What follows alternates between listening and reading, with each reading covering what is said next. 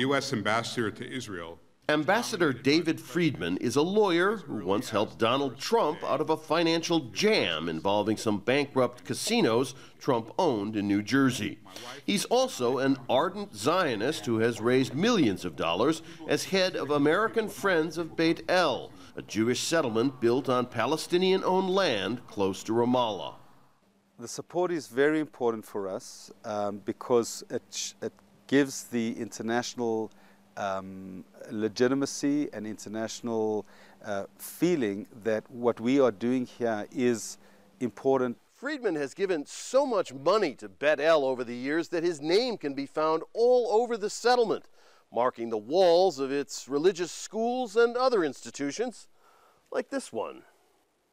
But while the building has Friedman's name on it, the property actually belongs to this man, Dia Abdel Fattah, from the Palestinian town of Dur al Qara.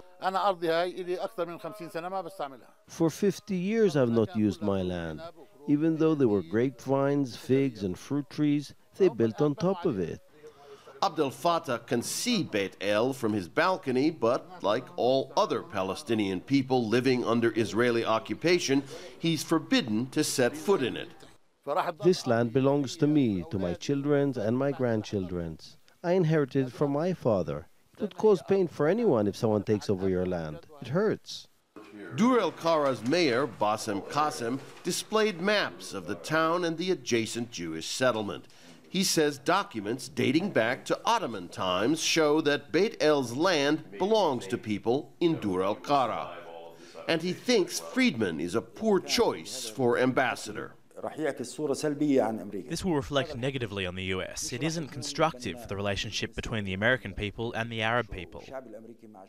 But Beit El settlers say Palestinians never really owned the land at all. The Jewish people uh, believe that all of the land of Israel belongs to the Jewish people and was promised to them in the Bible.